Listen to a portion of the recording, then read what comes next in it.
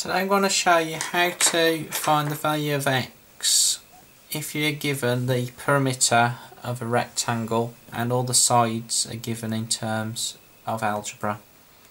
So let's have a look at our example here. So we've got to find the value of x if the perimeter of the rectangle is 42 centimetres and we're given the length as 3x minus 1 and the width is x plus 6. So the first thing we need to do then is to add up all the sides of the rectangle to give the total perimeter in terms of x. So we've got two 3x minus 1 sides and we've got two sides which are x plus 6. So if we just add these up here,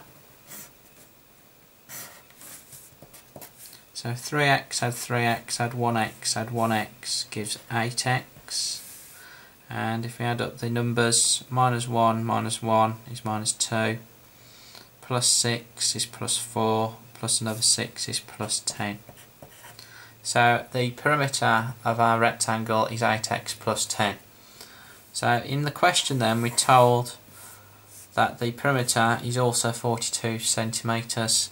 So we can make 8x plus 10 equal the 42 so this gives us an equation which we can now solve.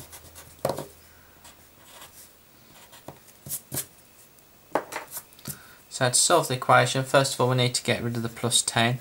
So we can do this by subtracting 10 from both sides.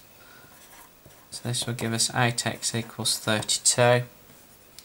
And then we can then get rid of the 8 by dividing both sides by 8 and this will give us x is equal to 4. Thanks for watching.